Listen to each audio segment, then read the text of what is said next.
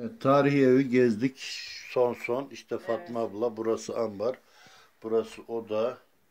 Yani eskiden ot kurutulan yerdeyiz anlayacağınız. He, ta- Yani tamir anne- edilmiş, yapılmış. Yani anneanne babaanne ot kurutulan buradan çıkıyor. Odası var sade.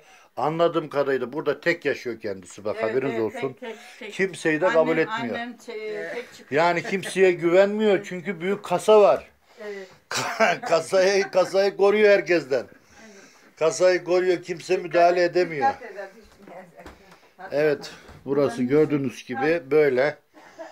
İşte iniyoruz. Bu çekimlerim şu anki durumda son çekimlerim burada. Evet size çektim her şeyi ince detaylarıyla gönderdim. Evet bak görüyorsunuz merdivenden iniyoruz. Eh, Bismillahirrahmanirrahim. Evet. Evet indik. Allah'ın izni ve keremiyle.